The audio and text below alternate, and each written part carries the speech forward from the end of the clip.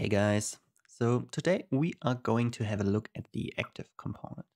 The reason for this, it's in my opinion the easiest one and this is my first tutorial for version 4.0 or the new core framework. So I thought let's start with it. We have two examples here for the active component and I'm sure you are already familiar with the active component from the earlier versions. There are some changes in there I want to show you. Um, these examples are really pretty simple here. So we just have a button and if we press it, this wheel here starts rotating and the light bulb turns on and off. And you can see there's a nice little transition in the intensity and the movement. So it's not on and off instantly, but we have a nice transition. First of all, let's have a quick look on how these examples are made. And this would also be a tip to really go in there and see how we have set up these examples. It could give you some inspiration on how to use these components, but of course there are a million different ways on how to use them. So for the example of this wheel here, let's open it up. And as you can see, we do this in this example in the tick. We just set the um, at a local rotation depending on if the active component is actual active or not. If it is active, we use this float here. And if not, we use this float and we do a little interpretation. So it will not stop instantly, but you have a smooth interpolation between those two values if this here will change. So very simple example. Um, the light is, is kind of the same. It talks with the, um, also talks with the active component and changes the light intensity. I would say let's do a quick example here. And we will also have a look at the drag component a little bit, just to, to recap on how you, you connect both of them. But we will have a separate tutorial about the drag component later on. So let's dive in and create a new blueprint here. And I, of course, call it uh, explosion, BP explosion. Haven't done a lot of explosions lately, so let's use this to make some explosions going on. The first thing we are going to add is, of course, the component active. Let's hit compile. And we don't need any of those here. We can just delete them. The only thing we really need is the event here, active state changed. And there we have two different types. The source info is is now new in this in this version. You will have it in every component or we try to integrate it in every component. It will give you more information about where where this is actually coming from. So you exactly know, okay, this pawn has pressed it. And if we have a look at it, open this up, you can see these are the informations we try to give you. So you always know which pawn it was, where's the location, what is the interacting actor and things like this. So this is really handy for more advanced stuff. But for our simple explosion example here, we are just going to use the active component and let's do a boolean here with a branch. And if it is active, I want to spawn an explosion.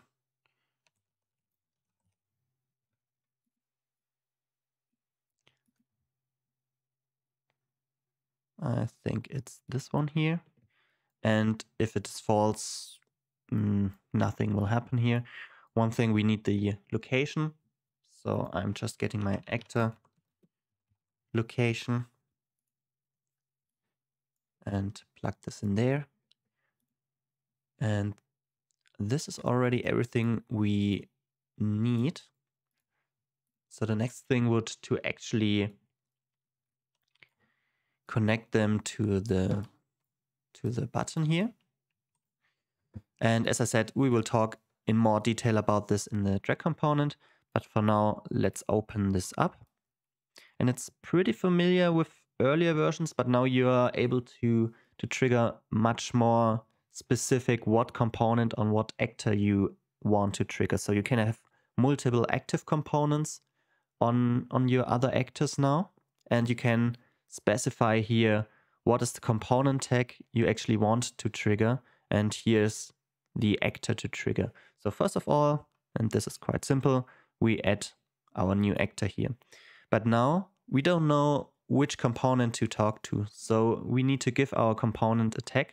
And you can see all of them here has the tag already, but our new one, of course, does not have the tag. So we go to our active component here, component tags and add a new one. Let's name it something like active underscore bomb. And it's really important that you give it a descriptive name because it gets complex very fast. And this way you make sure to always know the connection between what is what is going on, what, what is really being triggered.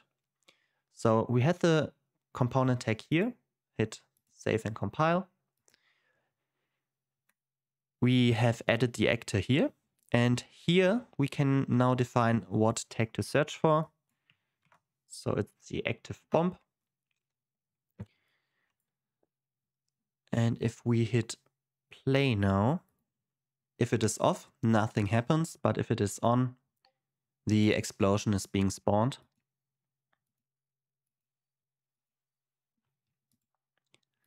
So pretty simple example here. Let's do another one because I wanted to show and talk about the construction script.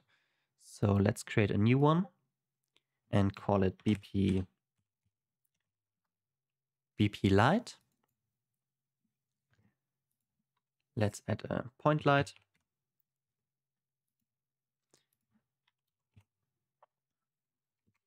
And our component active, hit compile and save. And what we want to do now is we want to connect them. So if it is active, the point light should be on. And if, it's, if it is not active, the point light should be off. Also the same approach here. We can use the active state changed again with our branch. We could do the interpolation we have in the other example, but for now let's keep it simple and just turn it on and off. So if it is active, I want to set the intensity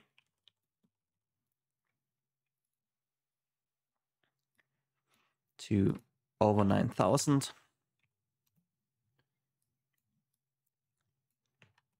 And if it is not active, I'm just setting it to zero. So like this. And again, this partly works already, but, and also I'm sorry about these errors. This is a work in progress.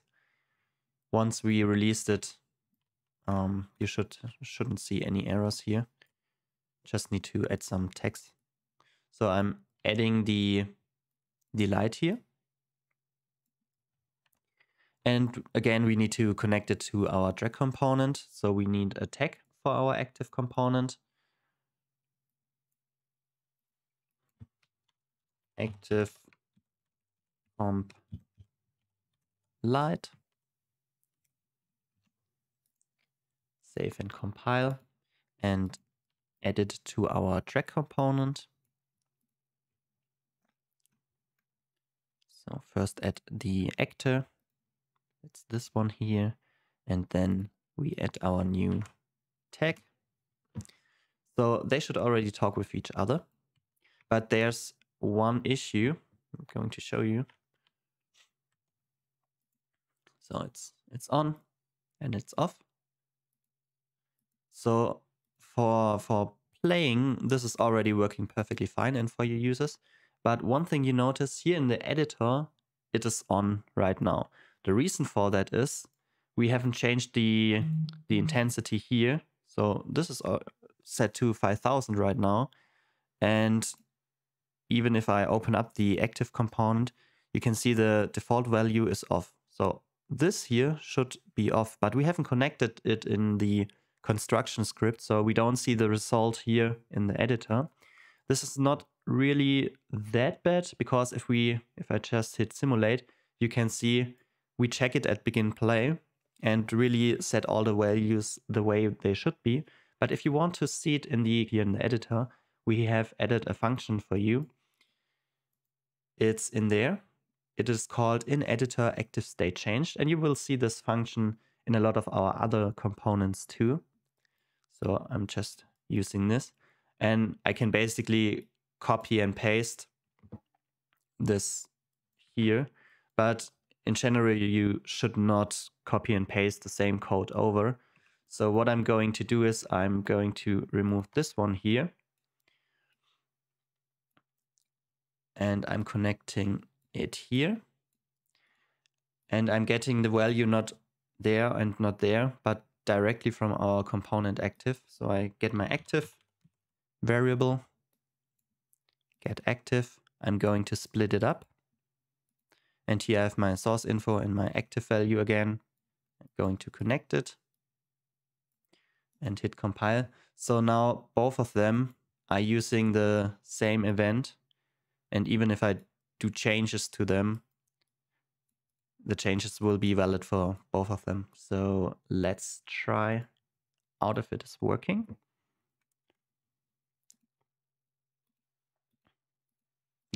Now you can use the toggle to turn it on and off. You can turn it off. And one thing you notice, if I turn it off, nothing happens in the viewport. The reason for that is you need to actually apply the settings. So if I hit apply settings, now it is off. If I turn it on, it is on. So if I set this to true here and I hit play now, it is on from the beginning, as you can see here. So just one minor thing to keep in mind. So as a recap, the active state is the most simple one in my my um, opinion because it's it's just you, you get a boolean and it is either on and off. But you can already do a lot of great things with it. We have some examples of the active component, but basically you can do whatever you want after this branch here. So it's a really cool way to connect your components. Just make sure to use the right tags here. But this is a system you will need in all our components now.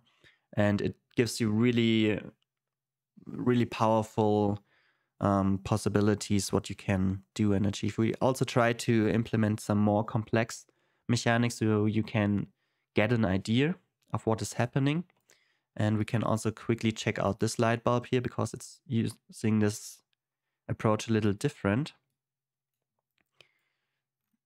Here you can see we have our, also our active state changed and we combine this here with a timeline. So again, we lerp between two values, 0 and 42. And this way we have this nice transition. And we also change the um, the material and the light intensity at the same time. And down here we have the same for the color component, but this will be part of another tutorial. So thank you very much for watching my first tutorial about the new version. I'm really excited um, to show you all the possibilities and I'm going to see you in the next tutorial. Bye!